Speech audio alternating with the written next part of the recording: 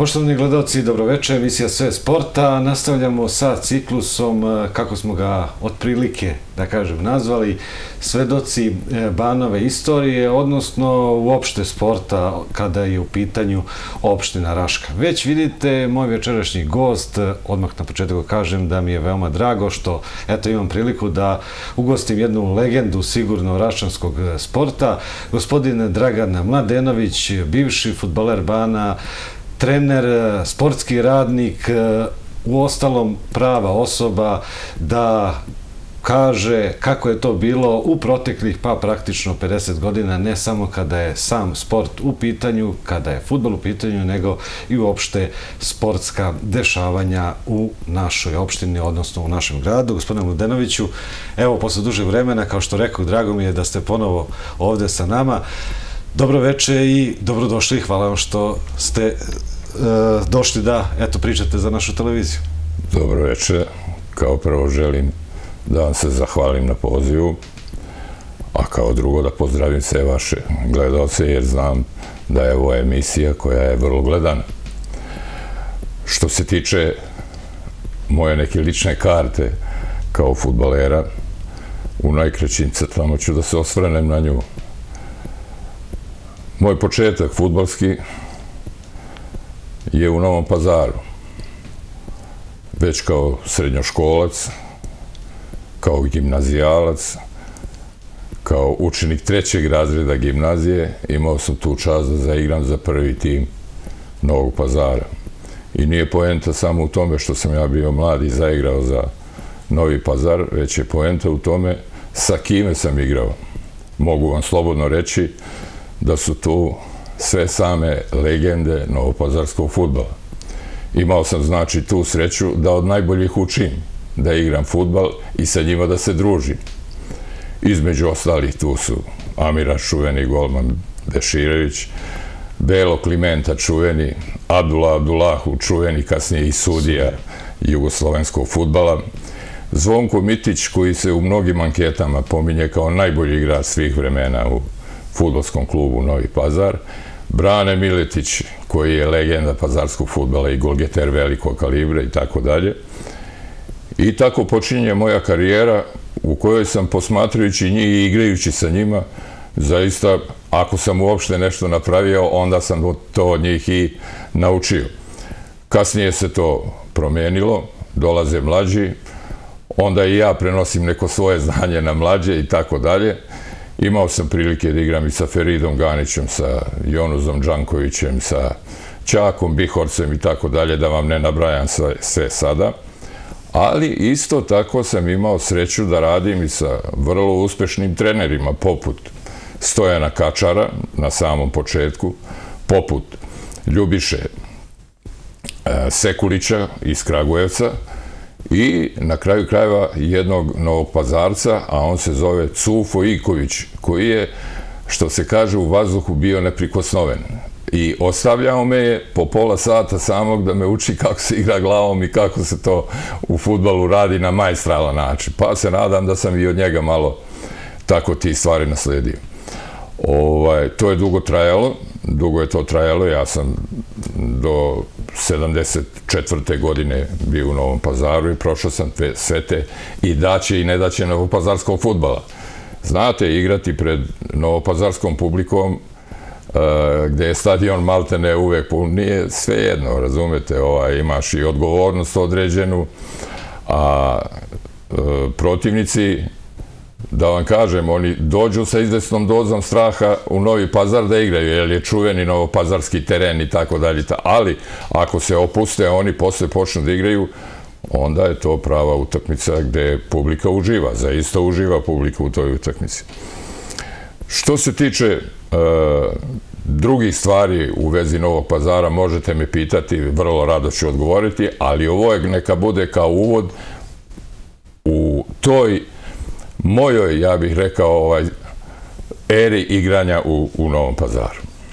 Lepo je vidjeti osmeh kada neko priča o tim davnim vremenima. Eto, ja nešto znam, nešto ne znam, ali naši gledoci će eto, da čuju iz prve ruke e, kako je to bilo. Eto, sada smo krenuli od Novog pazara. E, zanima me e, kako se jedan mladi dečak tada u to vreme odlučio. Znamo kako sada pogledaju, vide, imaju svoje idole. Kako ste vi došli do, do, do, do toga da se odlučite da igrate futbol? Perfektno pitanje. Odavno nisam bolje pitanje čuo. Hvala. U to vreme nije, nije bilo tako već roditelji vode decu na, na futbol i tako dalje. Vidite, Novi pazar je specifična sredina bila. E, na gradskom bazenu u Novom pazaru je bilo jedno rukometno igralište. Ko tu prođe futbol, taj, taj je završio. On može da igra gde hoćete. Uh, igrao se mali futbol. Ekipe su, to je mnogo ekipa bilo. I onda, ko se pokaže na tom rukometnom igralištu na gradskom bazenu, gde dolazi po hiljadu ljudi, znate, i sve se vidi. Tako da je Cufo, taj Iković, nas i video u stvari, on nas je odveo na, na, na gradski stadion. Mi nismo toliko baš to nešto ni bili zainteresovani da postanemo kao sada to nešto futbaleri. Međutim, moram i to da priznajem, kako se prvi put pojaviš na gradski stadion, to ulazi u tebe i to ostaje do, do, eto tako, to je jedan ovako kuriozitet, što bi se reklo, ovaj, kako se u to vreme postajao futbaler, eto tako. Upravo to, upravo to sam i e, mi je bila namera. E, igrajući za Novi Pazar, pored svih tih legendi, odigrali ste i nekoliko zanimljivih utakmica, evo, kada smo se pripremali i rekli ste mi da ste igrali sa šampionskom ekipom železničara iz Sarajeva. I sada je moje logično pitanje bilo, otkud oni tu, a u stvari priča ide Vidite, to je šampionski tim Jugoslavije. Željezničar iz Sarajeva je osvojio šampionsku titulu Jugoslavije. Pored Partizana, Zvezde, Vojvodine, Dinama, Hajduka i svih drugih. A, oni su bili na pripremama u Mataruškoj banji. Legendarni trener željezničara iz Sarajeva, Milan Ribar, je pitao Spasojevića, trenera Slogija, sa kojim dobrim timom bi mogao da odigra neku utakmicu, jer mu je stalo da nešto isproverava. Ovaj ga je odmah uputio na novi pazar. Taj tim i ta utakmica su zaista karakteristične. Stadion je bio dupke pun. Iako vam sad kažem, nije to bio stadion kao sad što je ovaj. Ali to je dupke pun bio. Stadion je zaista bio dupke pun. Šta da vam kažem, uz jednog Vasilija Radovića na golu, pored, ne znam, Hadži Abdića i tako dalje, a kad vam navalu budem saopštio, onda ćete vidjeti s kim smo imali posle. Broj 7, Jelušić, broj 8, Osim, broj 9, Bukal, broj 10, Sprečo i broj 11, Fikret Mujkić. To je da zaista ne znaš koga ti u principu treba da čuvaš ili da držiš i tako dalje i tako dalje. Sve legendarni futbaleri, osim je kasnije bio legendarni selektor, selektor. trener i tako dalje i tako dalje. Ovaj, e, međutim, ta je utakmica odigrana na vrlo korektan način, na vrlo korektan način. Svi su bili zadovoljni, svi su bili zadovoljni. Rezultat, ajde sada se ja ne vadim, nije bio toliko bitan, izgubili smo 3-0, ali smo imali i periode igre kada smo stvarno pokazali zube, znate. I iz tog razloga sam vama i saopštio da je to jedna karakteristična utakmica u mojoj igračkoj karijeri i zbog toga je sa ponosom ovako i, i pominja. Na koji način vam je pomogla i ta utakmica i, i, i razgovarali smo i protiv OFK Beograda isto e, te zanimljive utakmice kada ste bili u Novom pazaru? Evo kako. A, od ponašanja profesionalaca koji znaju šta hoće u životu, koji znaju da igraju futbol, znači oni su bili superiorni nad nama. Međutim, oni su se te tako profesionalno ponašani, ponašali i pred publikom, a i da pokažu svoje znanje. Tako da tu svaki mlad futbaler ili uopšte futbaler može da nauči mnogo. Od kvaliteta, od ponašanja, do, samo još jednu stvar da mu kažem, kad vidite taj, ovaj, tu želju za pobedom, tu želju za pobedom. Znači, nije to samo istrčati, ja, mi smo bolji. Ne, Bože srče. Oni su dali sve od sebe da bi nas, da bi nas na toj utakmici dobili. Ali, moram da naglasim da su oni dobijali aplauze na otvorenoj sceni. Što ne znači da nismo i mi, zaista smo bili briljantni u toj utakmici, u našim mogućnostima, posebno što se tiče fizičke pripreme i tako dalje, ali smo vrlo uspešni bili, ovaj, čak smo i čestitanja od ribara, posebno mi mlađi igrači ovaj, dobili, tako da je to jedno moje izvanredno sećanje na, na taj događaj. Lepo je to čuti. E, potom sledi prelazak u futbolski klub Bane, to je tamo negde sredina 70-ih, je tako? Baš u periodu kada se i napravio teren ovde, gde je sada? Da vam kažem, ja iz Novog pazara u FK Bane Raško prelazim 74. godine. Ovaj, na kraju krajeva to je moj dobar potez jedan bio. Ovaj, pojedine ljude sam i znao u futbolskom klubu. Ovaj, tada već počinje u Banu i ozbiljno da se radi. To je već jedna ozbiljna ekipa. Ali, posle izvesnog vremena, taj tim zaista postaje ozbiljna priča. To je ozbiljna jedna priča sa Slavkom Markovićem na golu, sa tom haus linijom Dunjo Puzagaso, sa navalom e, Miza, Rosić, e, Dulje Martać, Stošić, Jovica Gašić i tako dalje. To već postaje ozbiljna priča. Mogu da vam kažem da e, u, u toj jednoj godini onda je bilo, znate, za pobedu dva boda, za nerešeno 1-0 ovaj poraz. Prema tome, mi smo iz e, osam utakmica imali 16 bodova. I onda nešto, pazite, u svim tim nekim ambicijama morate da imate besprekornu organizaciju. Da li je malo ta organizacija za, zatajila tu ili tako nije, mi smo otišli u Novu Varoš, odigrali sa Zlatarom, Zlatar nas je dobio 3-0 i tu počinje neki mali ovaj pad naše forme. Na kraju smo završili, mislim, treći, četvrti ovaj, na tabeli. Eh, ja vam sada tvrdim otvoreno ovaj, da ta ekipa Bana, taj tim Bana, je jedan ozbiljan takmičarski tim. Tu Eh, na početku je bio predsjednik Aco Fodulović, eh, poznati direktor Brvenika. Eh, Posle toga je dolazili su do duš Peđa Vuković je bio, Mlađo Malešević je bio i tako dalje i tako da sad nema potrebe da se sad vraćamo na te stvari. Ovaj, to je jedna ozbiljna priča krenula sa tim igračima. Onda je došao i e, Žikica Bigić iz, e, sa Kosova, inače, iz Trepče, došao. On je tu bio direktor progresa. On je vrlo dobar igrač, jedan bio i tako dalje. Tako da je Bane na svim tim pozicijama bio dobar. I e, publika u Raške je zaista imala šta da vidi od svog kluba. Dolazilo je dosta ljudi na, na Banov stadion, dosta ljudi, a vrhunac toga svega je zaista dolazak taj crvene zvezde u, u, u Rašku. Mogu vam reći, pored ove utakmice koju sam već pomenuo sa željezničarom, da je to možda i kruna ovaj, da dođe jedna crvena zvezda u, u Rašku da odigra, da odigra e, utakmicu. Znate, to je, stadion je bio prepun i tako dalje. Međutim, moram da još jednu stvar naglasim. Uh, dosta prvoligaša je igralo protiv Bana u Raške. Poput, recimo, proletera Zrenjanin, koji je počeo da odigra odlučujuću utakmicu za opstanak sa Vardarom u Skoplju. Odigrali su sa nama tu utakmicu, evo da potvrde na moje ove reči. Mi smo i dobili 1-0, bilo je 1-0 za Bana. Razumete? Znači, Bana iz Raške dobija proletera iz Renjanina. Ovaj, da, apsolutno da, apsolutno da. Onda dalje. Vrlo česte utakmice su bile sa Trepčom iz Kosovske Mitrovice, koja je bila član, koja je bila član a, prve lige Jugoslavije prvoj ligi Jugoslavije.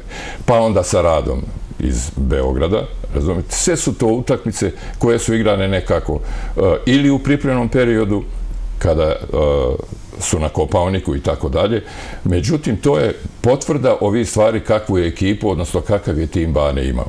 Prema tome, uh, da vam kažem iskreno, kvalitet Banove igre je bio za mnogo veći rang.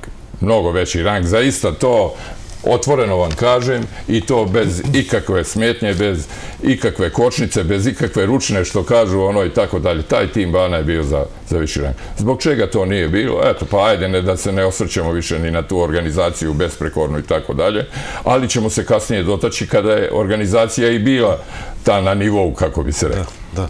E, pored tih utakmica, eto, ta protiv Crvene zvezde iz 78. godine ostala je upamćena za sve one koji prate sport, ali to ne samo po tome što je eto zvezda igrala prijateljsku utakmicu, nego eto po nekim detaljima koje ni ja nisam znao.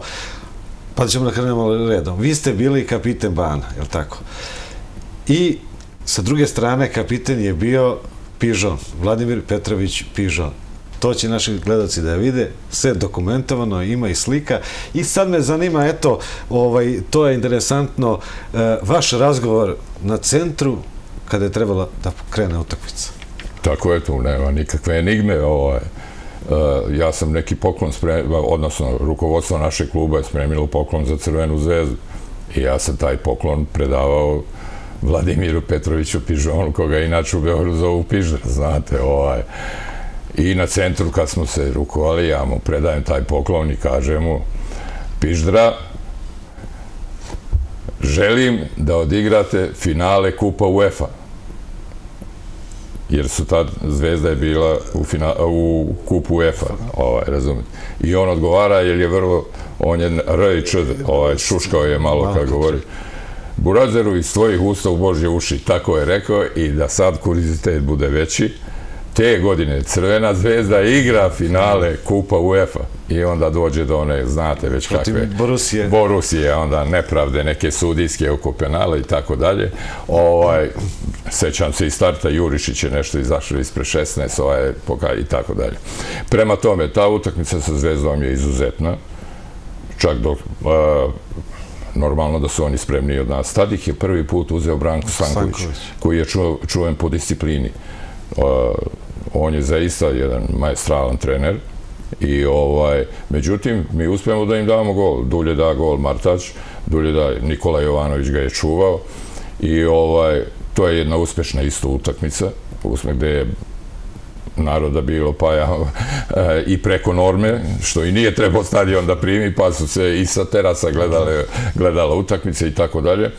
I mislim da je to jedan događaj za Rašku ovako o kome se priča. Evo da, pa i, i mi dan danas. I mi dan danas, e, da. Jest, jest. Interesuje sad druga stvar, sada kada pričamo mi sa, sa ovim futbolerima koji igraju u inostranstvu, evo, Komnen Andrić, Branko Jovičić, imaju neku dozu respekta prema tim igračima koji igraju u Liverpoolu, Paris Saint-Germainu i sve to. E, kako je vama bilo, interesuje me, vi ste znali Zvezda je veliki klub od samog nastanka. Da li je to kao sada bilo, ne, uf, on je pižon, on igra kup UEFA ili je to bilo, ajde da odmerimo snage? Ne, vidite, što se tiče kvaliteta, tu nikakve dileme nema. Međutim, igrači koji su igrali za Bana tada, njima je bilo sve jasno.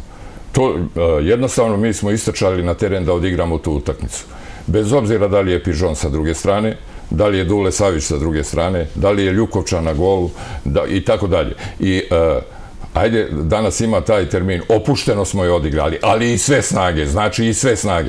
Znači, rešpekt da, jer imate ispred sebe te ljude koje vi gledate na televiziji i koji igraju finale Kupa UEFA, ispostavit će se kasnije, ali recimo odigraš pred tolikom publikom, odigraš tu utakmicu besprekorno, jer smo izgubili 5-1, je rezultat koje kasnije se to odvijalo, sve što je utakmica tekla dalje, normalno da su oni vršili jači pritisak, znači neka ostane ovako rešpekt da, i stvarno ne, ne može se drugo reći, ali i borbenost naša je doprinala tome da mi ajde da ne kažem, ravnopravno uđemo u to igru. A kasnije se kvalitet potvrđuje tokom igre. Igre, naravno.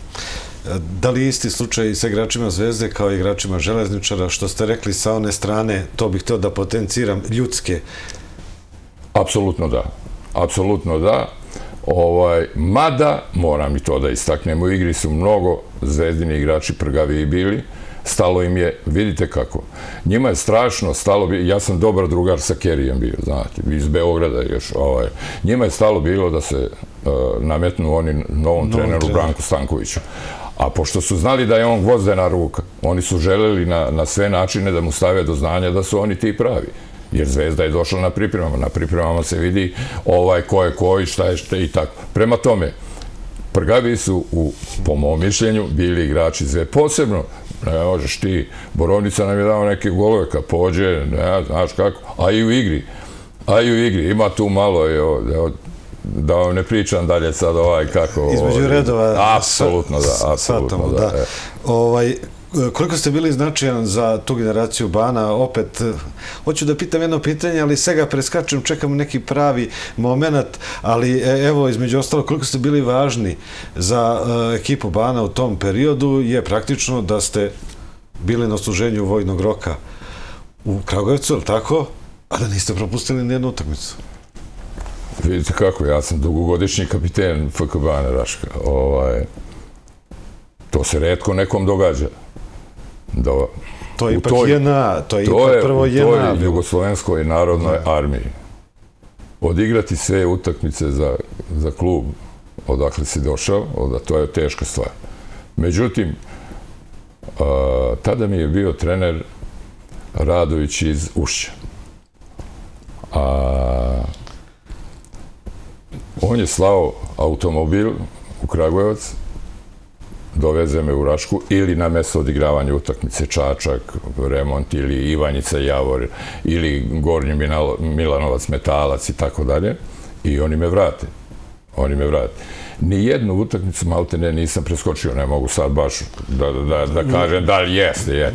Ali, e sada, e, kao takav i kao kapiten FK Bana, imao sam zaista strašnu jednu ekipu gdje su se ljudi između sebe cenili i poštovali. Znači, svako je svakoga znao, znate.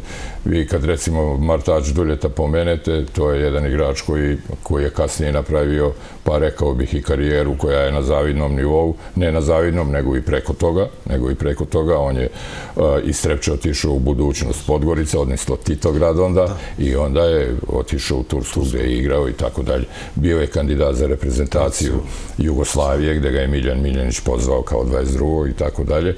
Prema tome, slobodno mogu da kažem, ti moji futbolski drugovi su izuzetno cenili, a mlađi koji su dolazili u, u pa da budem iskren da kažem, u meni su gledali nekoga ko će da im pomogne u igri, ko će savjetom da im kaže nešto i tako dalje. Prema tome, apsolutno korektan, korektan jedan odnos i mene kao kapitena, a i mlađih igrača, jer vidim da to potencirate, koji su dolazili tek na scenu, koji su dolazili na scenu.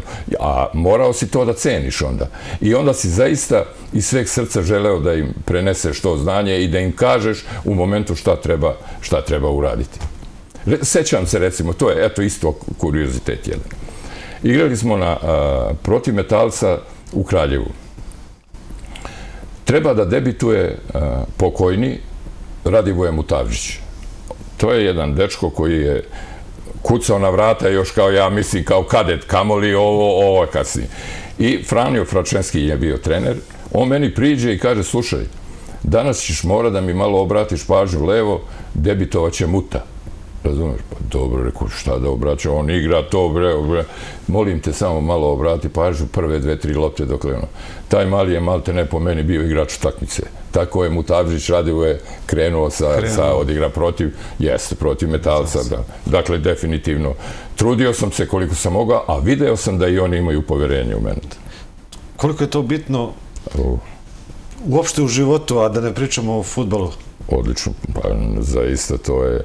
Pazite, to se nosi. To ne možeš ti preko noći da dobiješ i tako dalje. Da budem iskren, u futbolu, ako jedan drugog ne poštujemo, ako ne cenimo, e, teško ćemo nešto da napravimo. Ali zaista ćemo teško. Vi imate ovaj slučaj sada, evo, prelazimo na prave igrače. Vi imate ove slučaje sad, Neymar, Messi i tako dalje. Sve to ide nekako kako ide, ali Ako ti međuljudski odnosi nešto za koče gde ne, odmah se to vidi. Odmah se to vidi. Četvrt finale. Eto, pa, pa pazite, pa pazite. Ja, ja sam sticao utisak da najbolji odbrambeni igrač, recimo, u Evropi u tom momentu Ramos, to nije to kad je došao u Paris Saint-Germain. Samo iz razloga što je bojkot čisti bio, znate, ovaj, i tako dalje. Ali spuštamo na naš nivo, da, da ne bude da odemo u stranu mi malo. Ja zaista sam se trudio koliko sam mogao, zaista koliko sam mogao. I, i sve snage, svim srcem da pomognem tim mlađim ljudima, a i mojim saigračima, neki nisu mlađi, nego saigračima s kojima sam imao i dan danas, evo, izuzetnu, jednu korektnu, jednu jedan korektan odnos, recimo Dunjo, Puza, Gaspa, mi, mi znamo ko, kad ćemo se nasmejemo, znamo ko će koga da napada, sve znamo, razumete, to je, evo i dan danas je to ostalo. Prema tome, to je odgovor na vaše pitanje. Da. E, ta generacija je bila kažu jedna od najboljih e, igrali ste protiv borca ovde kada je otvoren teren ovaj sadašnji. E, neku posebnu utakmicu nešto što vam je možda žao što je moglo trebalo da bude bolje a nije? Ja, ja ću vam reći opet da se ponovim ovaj ta godina kada smo to od osam utakmice imali 16 bodova, Da, mi smo zaista sve to dobijali, ali ne mogu da grešim duše, što smo mi i u karantine, znači što pominjem to, ipak odeš ti da igraš, ajde sad kažem, jedinstvo Užice, ti spavaš u Požegi, razumiješ u motelu Požegi, imalo je uslova za to, znate. E, sad kasnije to malo popuste ti konci, popuste ti konci, a e, znate, to je liga, vidite kako je bilo to. E, imate metala s Gornjim Milanovac, imate slogu Bajna Bašta, imate Javor Ivanjica, imate Sevojno Sevojno, imate e, recimo Fa Priboj, Fa Priboj. I sad vi tu malo, li se tu komotnije ponašaš, tu već više nisi prvi. I već ne konkurišeš za, za, za prvo mjesto. Tako da je Liga bila jaka. Ja ovaj, sam zadovoljan nekim tim statusom gde smo mi igrali, šta smo igrali, kako smo igrali i prema tome ne bi želeo ništa više da dodam, zaista. Da. da. E, polako se završava futbalska karijera, ili tako? E, prelazite u trenere. Kada ste znali, jeste li razmišljali o tome, jeste li imali plan, e, kada da završim futbolsku karijeru, bit ću trener ili je to spontano? Kako je bilo kod vas? Prvo, ja sam kod sebe osjetio da imam ovaj, neki stvari koje me navlače na, na trenerski poziv, ali nisam baš mislio da će to tako brzo biti. Međutim, tada je predsjednik bio Peđo Vuković i e, na njegovu inicijativu upisali smo e, višu trenersku školu u Beogradu, Rodo Rakitićija, e, kod čuvenog Vojera Janovića, ta se škola tada cenila najviše u Evropi. To je možda škola koja je broj jedan bila u Evropi. Kada vam pomenem da su seminari održavali Pula, Medulin i tako dalje, da su predavači bili Miljan, Miljanić i tako dalje i tako dalje, ovaj, vidjet ćete koja je tu ozbiljnost. Između ostalih tu su dolazili Josip Skoblar kao e, Šeki je dolazio tu, e, Mušikić je bio u toj, Josip Pirme je bio u toj garnituri, Ilija Pantilić iz Novog Sada. Ovo vam sve pričam iz razloga ko je sve pohađao tu višu trenersku školu. A kasnije tu katedru preuzme Veljko Aleksić. Ja nastavim sa Veljkom Aleksićem da, da budem iskren, budem jedan od jačih tu tih studenta. A, davao sam celog sebe i učio sam zaista koliko sam... Vidite, to je kombinacija za, eto, na toj školi imate anatomiju. Polažete anatomiju. Znači, to je vrlo bitno da vam kažem koliko je to ozbiljno, ovaj, psihomotoriku i tako dalje. Da, nemojte sad da ispada ovde kako ja znam mnogo oko toga, pa ću ja da pa, držim nekome predaje. Da pa, bome. Pa i znate. Da, da, da bome, ovaj, da ne bude posle, eto, tako logiku i tako Dvojkana Stefanovića čuvenog i tako Miše Stanića psihomotoriku i tako dalje i tako dalje. I onda pola, međutim, moji ovde u Raški, oni ne dozvoljavaju da ja to sve pratim kako treba, nego odmah bi da, da preuzmem ja to i tako bude. Pa onda na parče preuzimam ekipu. Međutim, ja, pošto sam već odlučio, sada ja odlučujem, pošto sam ja već odlučio da mi treba viša trenerska škola i da hoću to da završim, ja tu pojačam to sve. Onda se premeštaju ti seminari kod Veljka Aleksićevu. Uh, e, Lepenski vir, 7. juli dol Petrovac, 7. juli Petrovac, ali to na izmenično ideš, znači na izmenično, pa čak kao absolvent, Veljko Aleksić čuveni, tebi, omogući da ti držiš predavanje brucošima koji su upije i onda on sedne i ti onda pričaš što ti predaješ, nego e, što on podigne ruku da te pita nešto, tu je problem.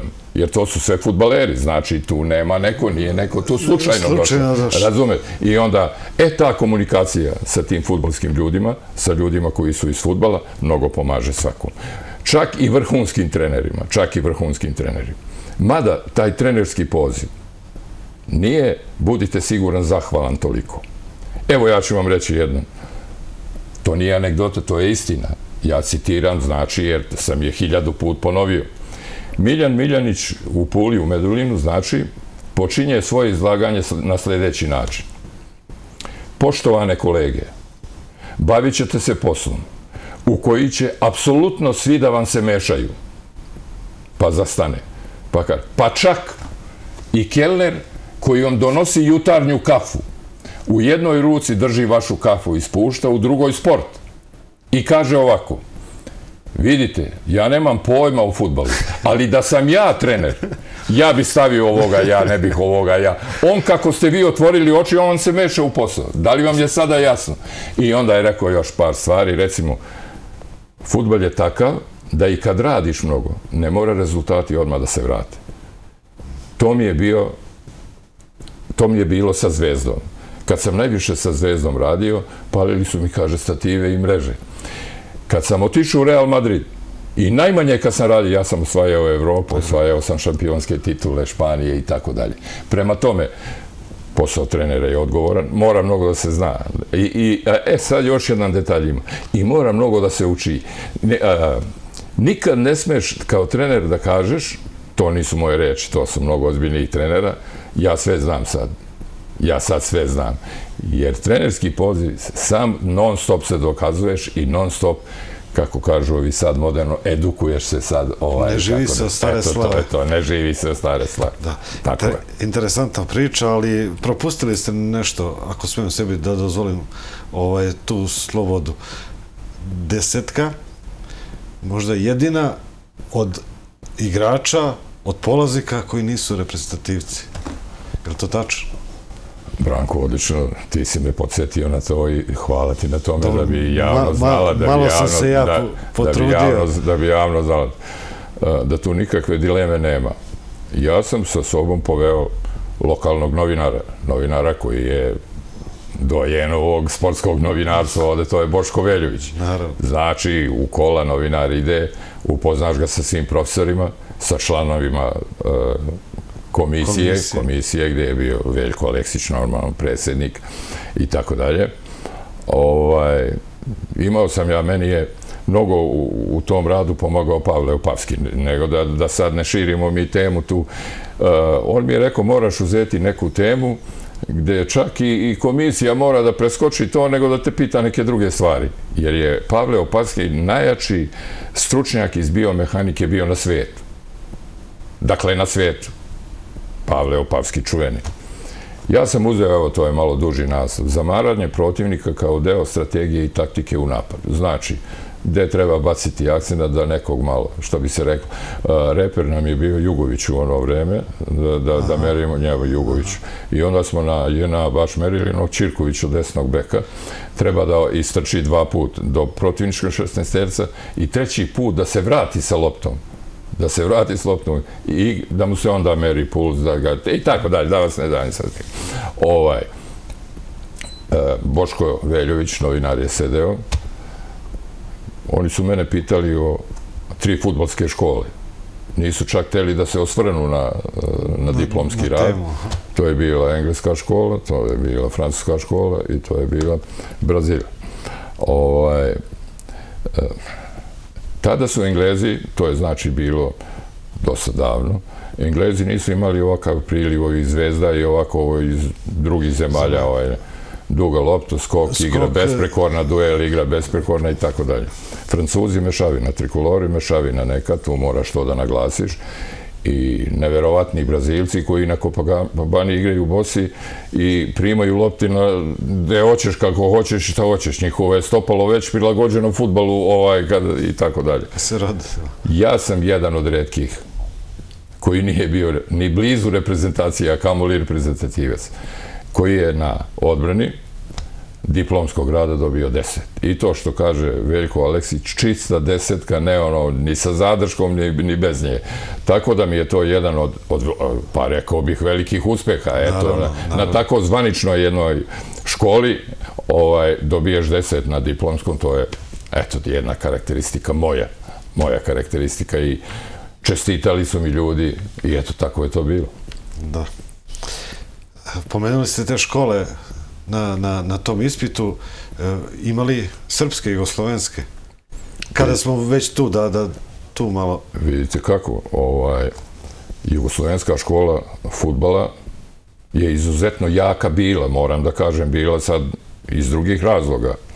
Ovaj, pa ću vas podsjetiti da se vratimo u sadašnjost. Zamislite spoj sada.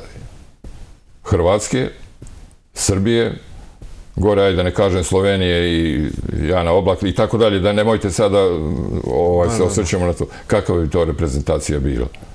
To se čak i videlo. To se čak i videlo. A, a, garantujem, jer sam slušao jedno predavanje u Čačku je bilo u amfiteatru tamo onom opštinskom, bili su Kosanović, Ljubko Petrović, ovaj, tada ako se sjećate prvenstva u Italiji, da, da, koje nam je pobeglo da, da, za, je, je, je, za, za, za, tada bi se pročula ta jugoslovenska škola futbala, znate, tada bi se već, što kaže mi slovenci, Danilo Popi, Popivoda je bio sedam, e, Oblak je Oblak. bio, jeste, osam i tako dalje.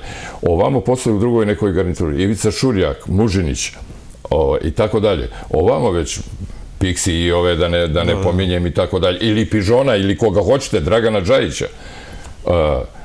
Ta jugoslovenska škola futbala je funkcionisala na sljedeći način. Tehnika besprekorna tih igrača koje sam recimo sad naveo, a pozadi besprekorna borbenost, oštrina, u granicama dozvoljenog. Nije, pazite, Katalinski je recimo bio neko merilo oštrog igrača. A vi možete pogledati da Katalinski nikog nije povredio ili nešto tako. Uklizavanja, da. I to je bila karakteristika svih naših igrača, u stvari svih naših igrača, nema tu šta. Ali, recimo, tehnika poput, uzimam za primjer Španiju i Pixija, znate, ta tri lažna, tri lažna, ovaj, razumete? Verona. Ta tri la, da, da bome. I na kraju, kao jagoda na torti, razumete? Slobodan udarac, slobodan udarac je tehnika, tehnika udarca. Razumete? To on je dao taj gol i mislim da je Dragan Stojković Pixi jedan od, eto tako, vedeta našeg futbola. Eto, neka bude odgovor eh, uh, na to. Zaista jedna izuzetna jugoslovenska škola futbala, prožeta tehnikom, oštrinom, besprekornošću, eh, posebno pozadi, posebno pozadi, i brzinom, i brzinom. Eto, to je odgovor moj. Lepo, eto, naučili smo nešto. E, prvi klub, kada je u pitanju trenerski poziv, kako se to... Bane, Bane je bio. Bane. To, je, to je bilo na parče, polusezona da Bane ne ispadne sad, verujte da ne mogu da se setim da li je bilo zona, jesi, jer samo je to zona, tako. Da. To je završeno, posle sam pojačao, pojačao sam studiranje, odnosno, uh, on, Veljko Aleksić je bio vrlo strog u kom smislu strog. E, ti si morao da budeš prisutan na svim tim semestrima njegovim. Tu dileme nije, a oni su trajali po 15 do 20 dana. Nisi mogao iz Lepenskog virati da napusti. Neprekidno, ne, ne, pa, ne. pa Žot Antonijević je baš samo bio mi cimer jedan, jednom prilikom. Ovaj, I uh, to je moralo da se pohađa, tu je nije imalo dvojbe nikakve, niti je mogo ko da utiče na njega. Krivokuće je recimo bio iz Zvezde krivi, on je zbog toga i premestio se u Niš, kod Taše tako zvano, premestio se jer nije mogo da izdrži taj režim, zaista nije mogo da izdrži taj režim. Meni je stalo do toga bilo.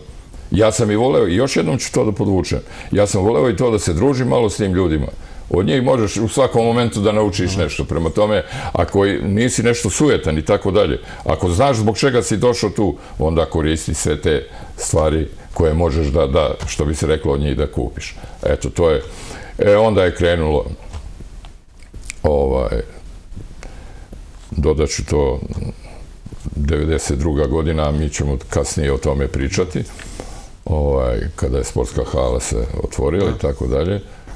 I u futbolu najozbiljnija priča što se tiče FK Bana Raška je dolazak Milana Pečinovića kao predsjednika na čelo Bana i eto, ako želite oko toga da pitate Naravno. slobodno šta god.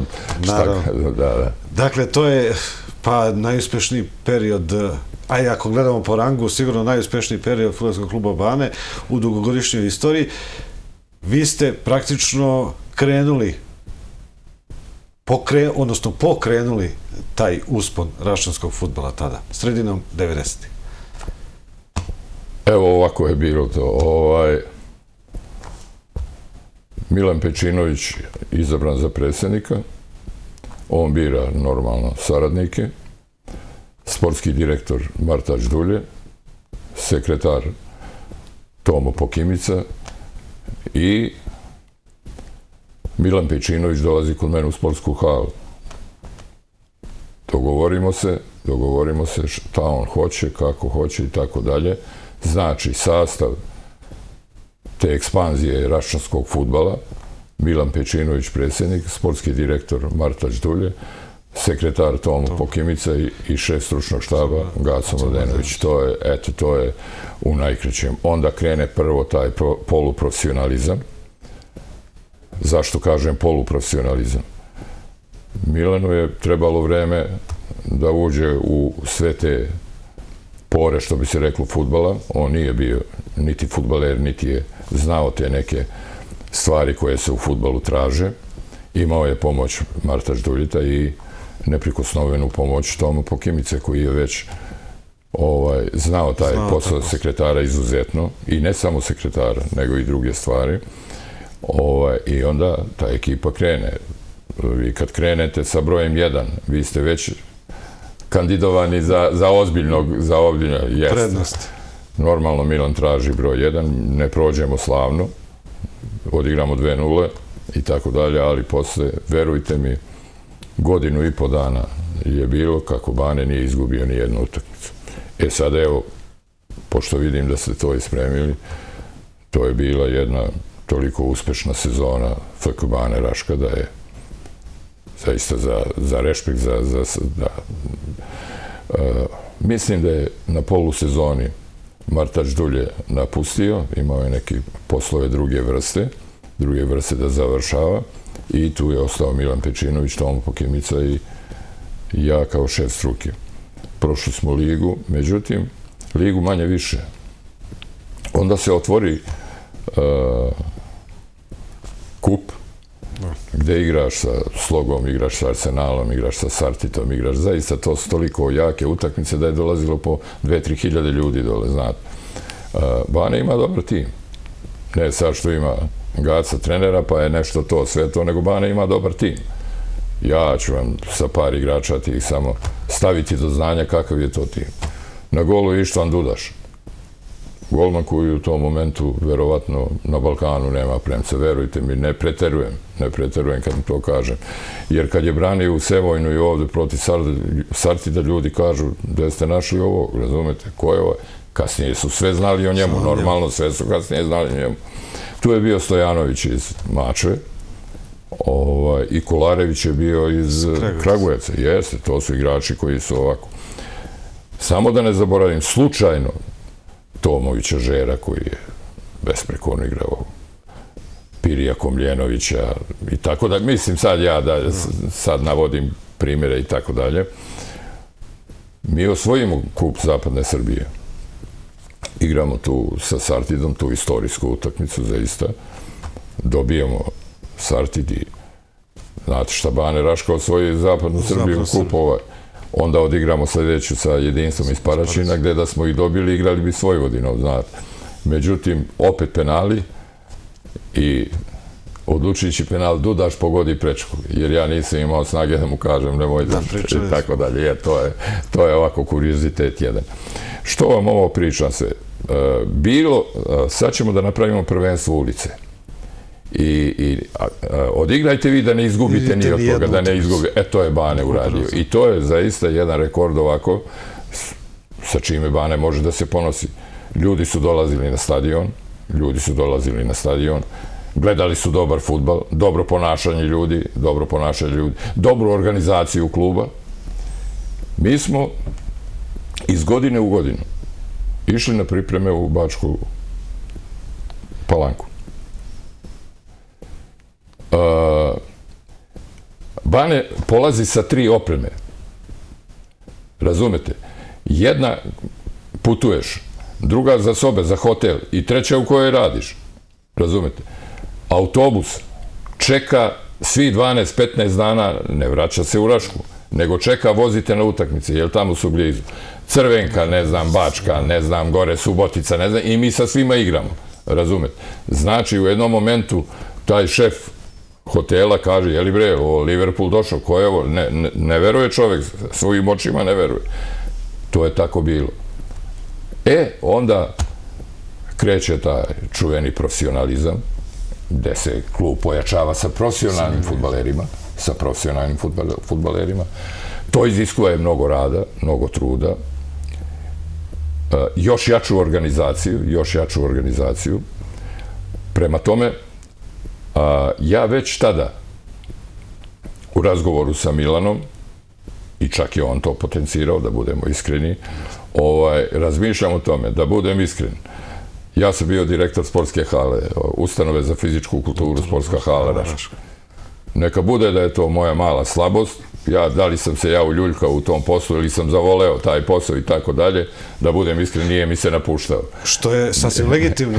nije mi se napuštao, a ovaj posao u Banu je već iziskivao mnogo više, mnogo više i izostanaka s posla i, tako dalje. I emocija i Eto, to je u najkraćeme, jes. Da, da.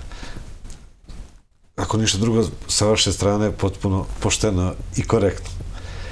Ali niste ostali samo tu, bili ste trener i u ostalim klubovima, pre svega to bi da, da napomenem Rudar, to je možda najuspešnija e, to su najuspešnije godine futbolskog kluba Rudar, to je 2002. treća kada su igrali Srpsku ligu, sicam okolnosti, tu su bili i, i, i Novi Pazar, i Sloboda, i Zužica, Sloga Požega, Sevojno, koji je već od bivših drugoligaša. Jedna, rekao bih, lepa priča, ali tako? Perfektna priča. Evo, ovako je bilo poziv dobijemo od uh, čuvenog Jeremića, direktora Ibarskih rudnika, preko Bibe Lužnjanina. Odem na razgovor, čovjek tako korektno, tako ozbiljno, tako inteligentno priča da je to prosto sam se zapanjio, zbunio sam se. Ovaj. Njemu je bilo bitno da, kako je on meni rekao, da ovi zeleni dresovi ne ode u niži rang. Kaže da ovi rudarski dresovi ostanu u Srpskoj, da, znate, da ne ispadu, oni su bili prezidnji. Dobro, dogovorili smo se odmah sve, nikakav problem nije bio. Uspemo da ostanemo u ligi i onda kreće ta ekspanzija čuvena ovaj rudara gde je ravnopravno igrao sa Novim pazarom, pa čak jedno vrijeme bio prvi. Da. Jedno vrijeme bio prvi, pa su to čuvene utakmice s pazarom, crveni karton 1-0, pa sa Slobodom, Slobodom u Užicu, jeste, Slobodom u Užicu 2-2, kad su svi gledali od Đorića preko Teofilovića, preko pokojnog Mila Rajića i tako dalje i oduševili se. Kada je naslov u žurnalu osvano uh, rudarska lampa, oba sjala užice. Razumete to malo, ajmo i da se našalimo. Pa je, jeste što je, što je dobro, ali, je lepo, ali jeste ali je tako. Da.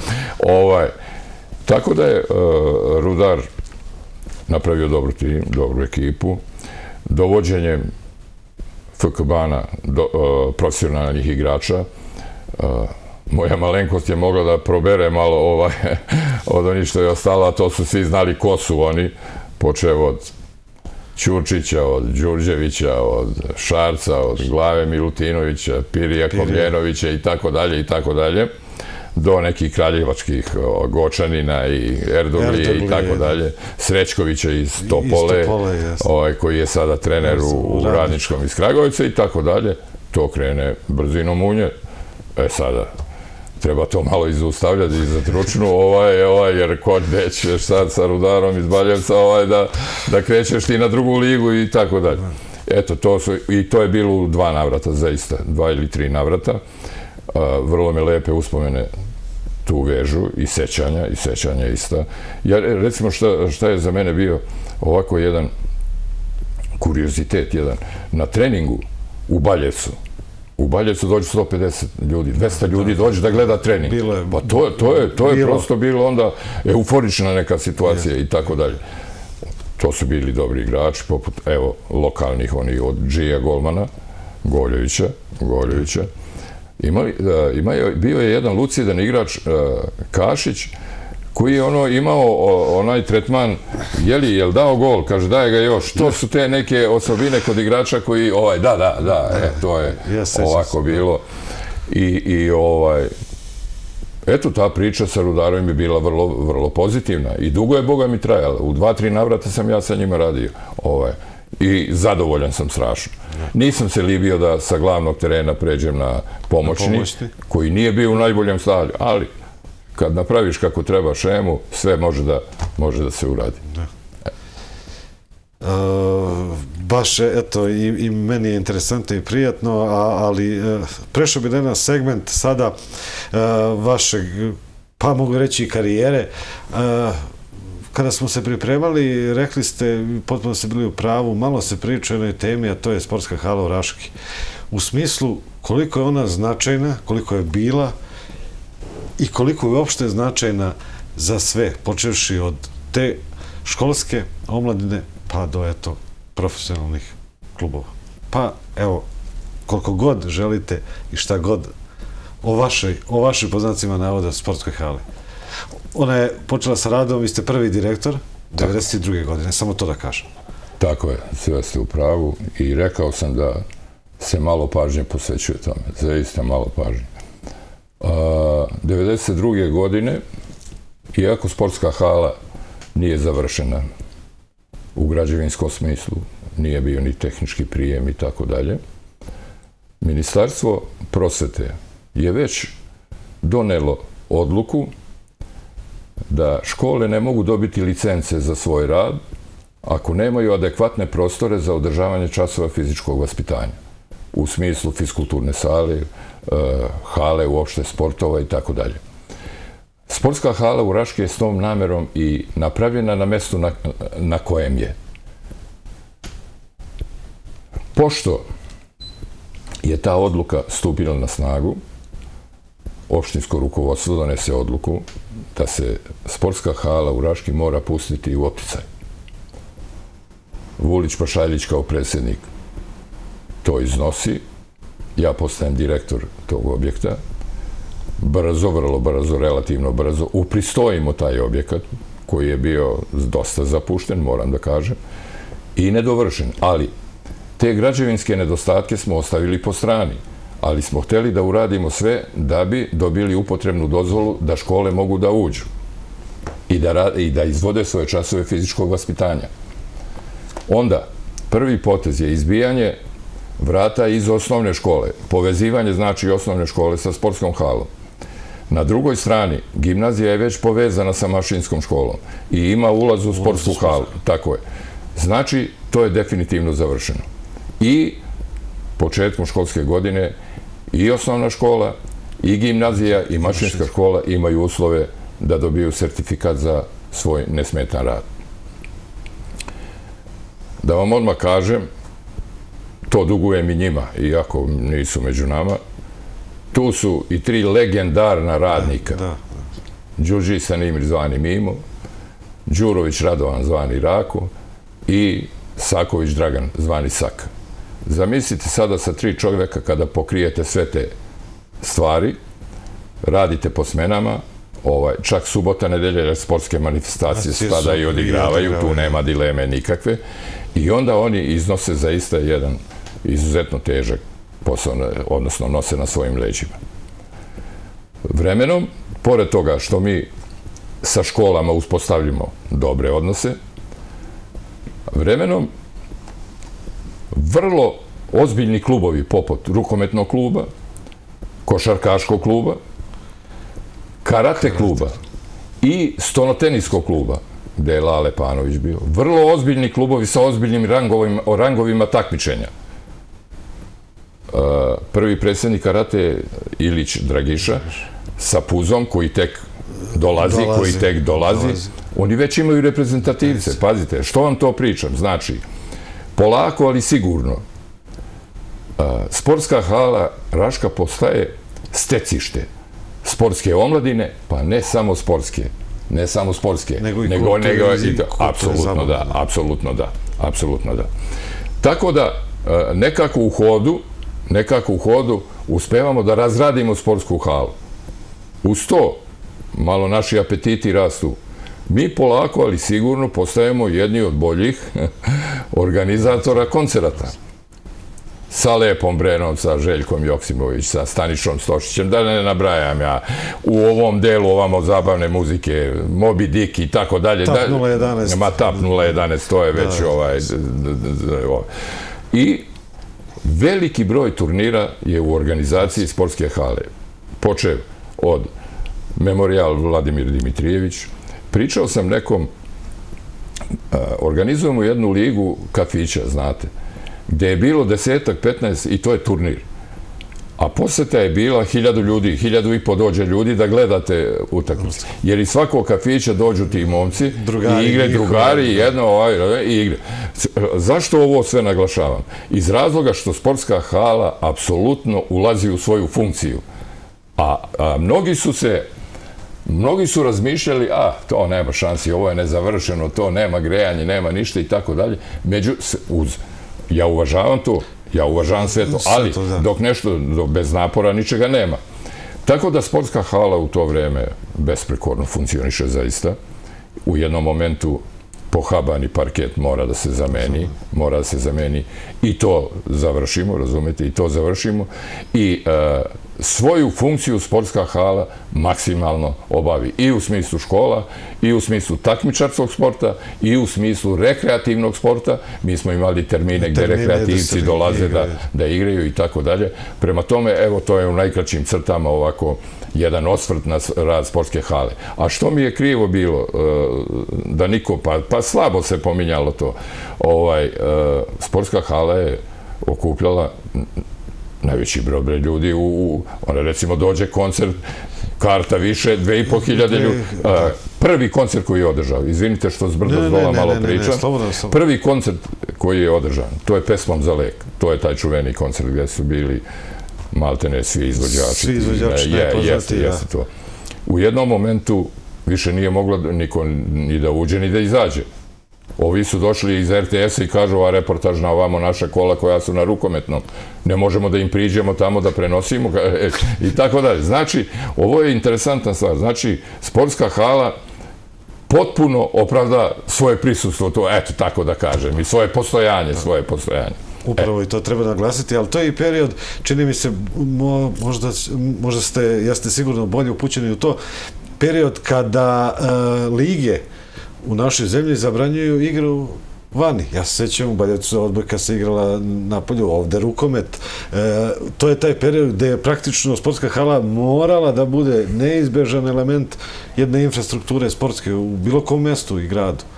Apsolutno, to bez dalje. Evo ovako, e, u žargonu je bilo to beton lige. Beton to je, lige, da, be, beton, to je zbog toga. To je zbog toga, to je, razumijem. Međutim, uh, ja sam imao saradnju sa odbojkačkim klubom Rudar iz Baljeca, koji se u tom momentu kotirao izuzetno ozbiljno.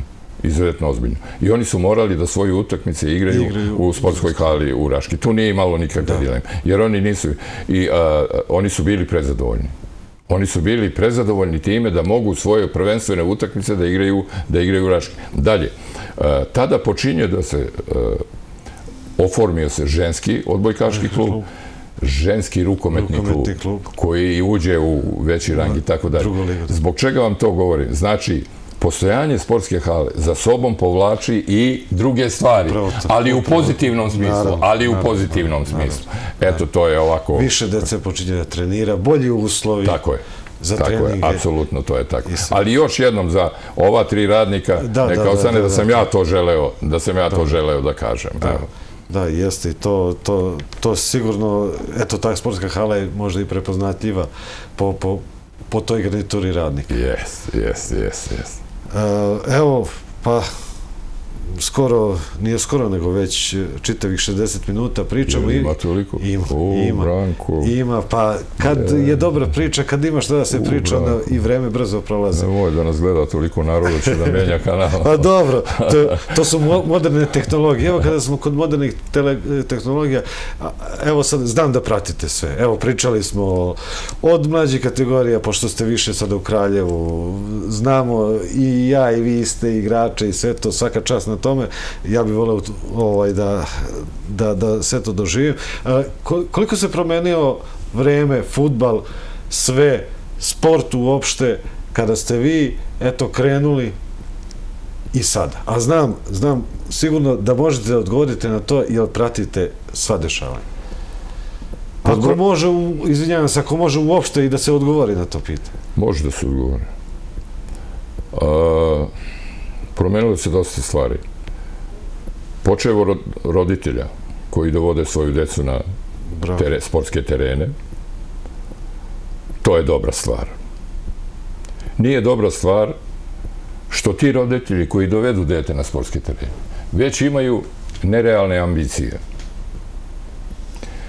Uh, oni bi odmah da svoje dete nekako vide u Real Madridu, negde da ga vide i tako dalje, ne osvrćući se na to da dete treba da vežba, da radi, da raste, da napreduje i tako dalje. Uh, dalje, postoje škole futbala, to je dobro. Nije dobro kad brojčanom mnogo dece u jednom momentu se nađe na treningu. Ne može se Ne može da se... Apsolutno, Branko, apsolutno, bravo. Ovaj. Dalje. E, sada, polako, ali sigurno, što se meni... Ja znam da je to sve napredovalo i tako dalje. Nemojte me uzeti kao konzervativnog nekog trenera, ali već toj deci počinju internet neću reći treneri, da objašnjavaju preko interneta kako se igra futbal.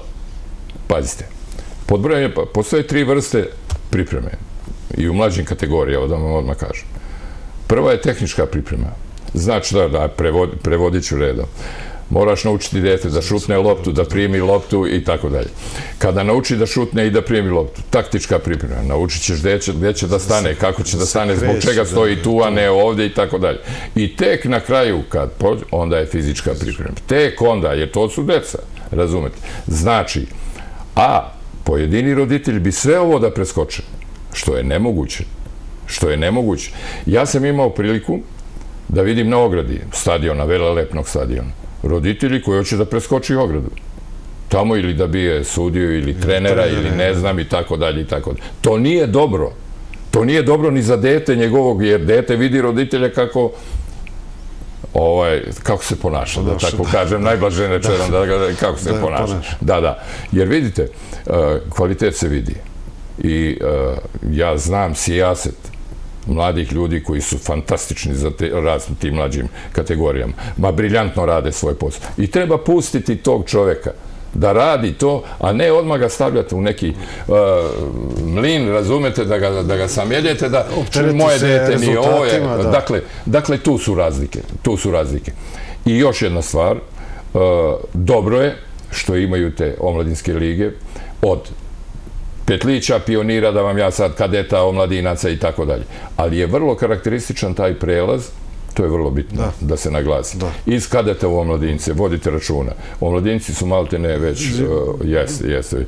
Ja sam imao priliku, ja sam imao skoro priliku da vidim ovog Miloševića što je u Vojvodini, što je najskuplji bio mladi igrač ovaj sad. Što je student? On je u Vojvodini bio, protiv Kikera su igrali u Kraljevu. Da, Jovan Milošević.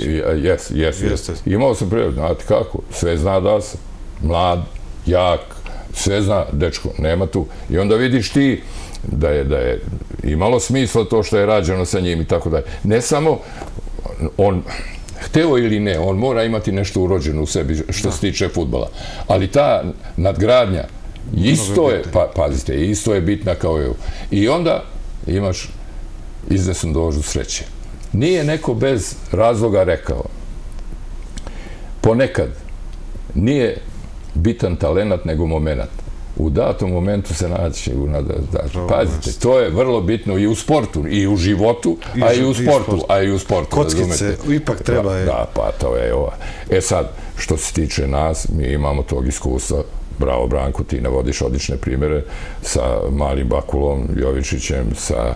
Ne, ne, ne, ne, sa Andrićem, da, da, da, pravi Pa pazite. Jeste, rad, rad, rad, upornost. Vidite kako, taj komen Andrić, ja uključim televizor, razumiješ da gledam, i onda vidim na centru, počinje neka francuska liga. Ja ovako zastanem malo, Paris Saint-Germain je, Neymar, je li tako? Da. Mbappe, je li tako? Ovamo Messi, je li tako? Yes. Ali dečko koji počinje utakmicu, koji početni udarac izvoji, kom ja on je iz Baljevca čovječ. Da, da. Pa tog dečka treba, pazite, treba, da. to je interesantna stvar. Evo ja sad ovaj pričam vrlo otvoreno to. Svaka čast, to je za, i tako. Mislim da pitanje je odlično, ovaj, e, to je napredovalo, izuzetno napredovalo i dobro je što je tako, osim ovih par detalja u vezi, ovaj, da, da, da, da. I, pa čak malo je bitno i ovo ponašanje roditelja, da budem iskren. Malo više. Malo više, jes, Malo jes. više, da budemo E, iskreni, je, ali jest, dobro. Jest, jest. Takav smo, ajde da, da, da to pripišemo temperamentu, mada E, i pa, taj temperament, pa sve mora se kontroliš. jeste to, jeste, Jeste. To je tako da, da, ovaj, ja sam imao, ajde, sad otvoreno pričam, ja sam imao jednu priliku, znate, Sočanac Marko, Da. je igrao u omladincima, u podmlatku, onda je bio podmlatak, centar fora. Bio strelac lige, strelac lige bio. Međutim, taj Marko Sočanac ima levu nogu, to je izuzetna Izuzetno, stvar jedna, to je izuzetna stvar. Sticajem okolnosti, Milija Đorđević završava i tako dalje, već je e, završio. Ja povučem tog Marka Sočanca levo. Dečko leva noga iscentrira to kako treba, progura, startam brz, oštar kao Da, da, žele. britak. Jednom prilikom, meni njegov otac koji je moj drug, odličan, pa kaže, da. znaš šta, Ganda, ovaj, ti si ovog mog povukao sa centra, pa sad su na ceni goli igrači, meni njegov otac kaže. Ovo je interesantno, možda da, nije da, za ma, televiziju, ali dobro. dobro, evo A, malo, dobro, pređemo smo i na da, da. časkanje.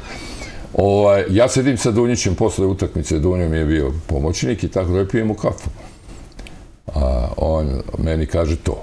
Ja mu kažem, znaš šta, ajde, vidjet ćemo se sutra, prekstra, pa ćemo malo da popričamo. Nije prošlo dva, tri meseca. A, nije prošlo. On prelazi s jedne strane trotoara na drugu, da bi me grlio i ljubio, jer već ga ovi pozivali za Sartid i ovi ovamo. Znači, po, čeka, idi, vozi autobus, on je inače, znaš tako, ovaj, Da, da, neke da. stvari, kao da ja sad, ovaj, ne, ne, ne, nego, mislim da je, on je čak posle postao izuzetan štoper, Da, da, da, reprezentativnog jest, kalibra, jest, zaista, ovaj, ta- ali ovo neka sve. bude detalj jedan koji je interesantan, Za, evo. Ne samo interesantan, nego za nauk, da sve dođe na svoje nekad. ako imaš kvalitet, ako dobro radiš, sve dođe kad tad. E, ostali bi sa pričama. Ja znam koliko ste vi o, o, ovaj puni i, i informacija i uopšte svih dešavanja. Uopšte vaše igra, igračko i trenersko iskustvo to može da potvrdi.